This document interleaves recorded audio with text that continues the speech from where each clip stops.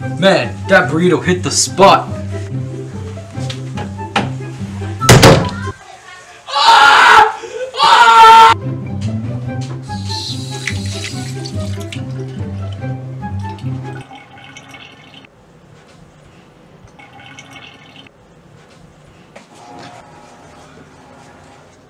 Who are you?